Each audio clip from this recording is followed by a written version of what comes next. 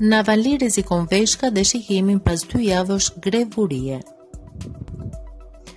Lideri i opozitës ruse, Alexei Navalny, është në rrezik dështimi të zhvillimit të veshkave dhe shikimi i tij po fillon të dobësohet, pasi janë bërë dy javë që kur ai ka filluar grevën e urisë. Gjendja e tij është me të vërtetë kritike, tha Aleksandra Zakharova, një zëdhënëse e Aleancës Mjekësore, një grup i konsideruar nga autoritetet ruse si aktivistë të opozitës. Ne i kemi parë rezultatet dhe ato janë shumë shumë të këqija. Ka nivele të larta kaliumi dhe vlera të tjera të larta që tregojnë se veshkat nuk funksionojnë mirë.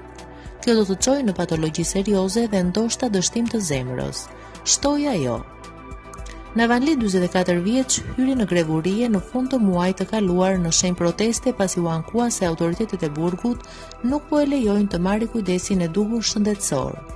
Ai pati thënë se ka dhimbje të vazhdueshme në shpinë dhe këmbë. Rusia burgosi Navalny për 2 vjet e gjysmë në shkurt për shkeljen e lirimit me kusht. Ai u arrestua në kufi ndërsa u kthye nga Rusia në Gjermani, ku po shërohej nga helmimi.